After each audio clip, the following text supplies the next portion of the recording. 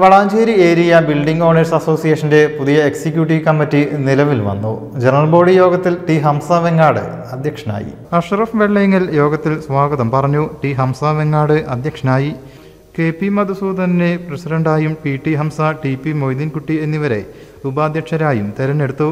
General സെക്രട്ടറിയായി Ashraf Vellayingal സെക്രട്ടറിമാരായി K T Hamsa M T Muhammad Iqbal ട്രഷററായി P V Abdul Gafoor എന്നിവരെയും യോഗം തെരഞ്ഞെടുത്തു.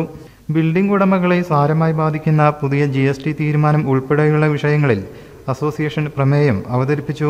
M P Abdul Jabbar Manuhaji Amana K Abdul Kareem Prakashan variety Naushad Palara K T Hamsa K M Abdurahman Muhammad Abdul Azeez Konnakkattil തുടങ്ങിയവർ പങ്കെടുത്തു. News bureau Valanchery.